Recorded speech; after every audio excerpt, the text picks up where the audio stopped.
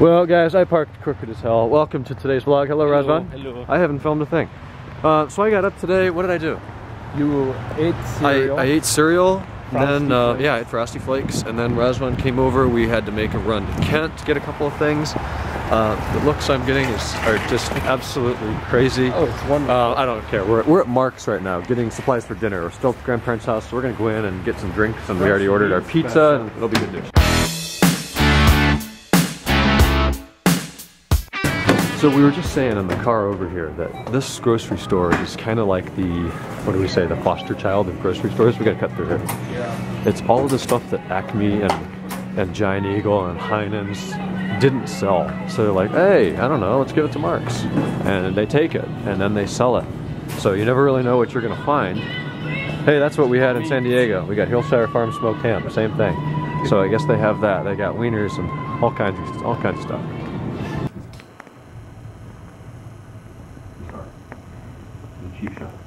Cheap shot, okay. Take it back.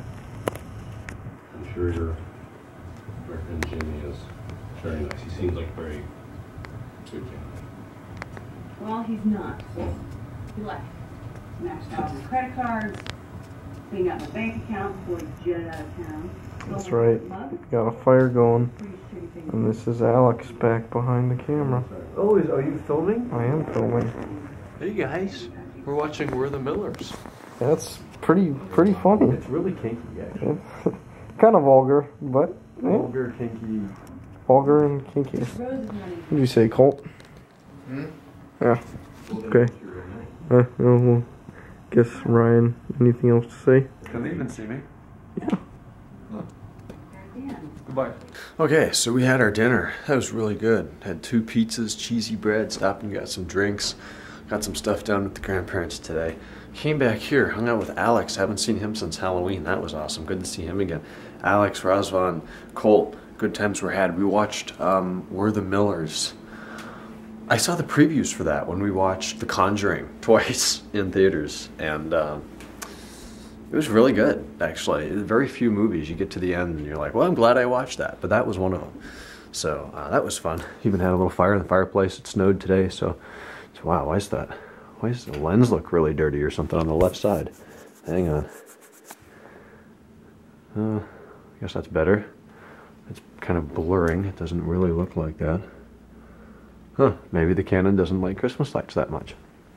But I didn't make any further progress with that aside from cleaning this off. So the surface is ready to be Christmasificated. Uh, that's a Bushism. Anyways, I'm gonna go up. It's three o'clock in the morning. I gotta get up at eight, so it's gonna be a rough night. But um, tomorrow's Saturday, going back to the grandparents' house. I don't know what we're doing tomorrow, but it's the typical day over there. So we're gonna head in there and do that. And then tomorrow night should be fun. We're gonna try to get together with everybody again and hang out. So we'll talk tomorrow. Oh, wait a minute. Wait a minute. Jake, you were almost you were almost pissed at me again.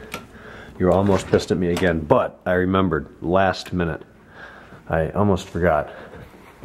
So a, a 12 hour install job it took to do this, and um, it was worth it. It was worth it, and the dollars. But we'll come inside the vehicle now. Um, and I will show you my UUC Evo 3 short shift kit. Oh, yeah. Look at that. Tight as a new car. That is an F10 M5. 35% shift reduction. First to second. Boom. Three, four, five, six. And reverse. Directly overhead. That was a reverse to second. That's weird. Neutral is a little further up. That's fourth gear. That is where neutral used to be. In fact, before I started this car today, I got in, it was there, and I'm like, wait a minute, that's not neutral. There we go, that's neutral. Now, look at that. That is the play in gear. That is as good as it physically gets. I replaced the carrier bushings. There's one back here, and there's two up here. Both of those are new. That is as good as this shift setup allows that to be.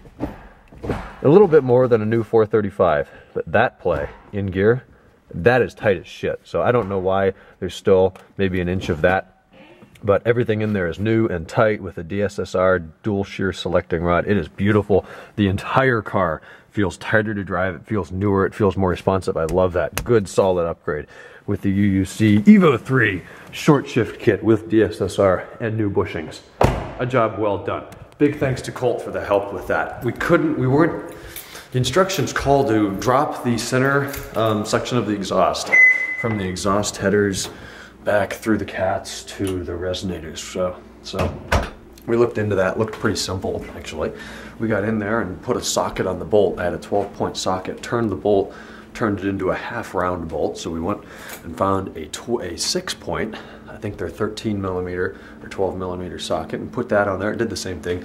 Those bolts are now made of marshmallows. They are totally rusted and corroded. You know, you can't protect that where the headers come down into the center section of the exhaust. It gets hot as hell. You cannot cover that up, insulate it, protect it from the elements of an old car. So, uh, I guess the engineers knew that and they left a section of the bolt about that long wide open. So, guess what? You get some bolt cutters in there, you cut that out, you pull them out, you replace the hardware. You need eight bolts and eight nuts. There's like probably $8 in parts there. So next time that exhaust really needs to come down and I have access to a pair of bolt cutters, we'll just do it the fun way.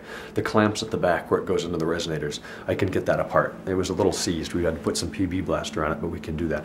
It also called to drop the drive shaft. There's six bolts on the on the guibo. So uh, we didn't even try those. So we were pretty much hugging the drive shaft, reaching all the way up into the transmission tunnel to put that in. Took 12 hours, but it's done. And as I said, it's worth it. So without further ado, we'll talk tomorrow, Saturday. Good night. Welcome to the weekend.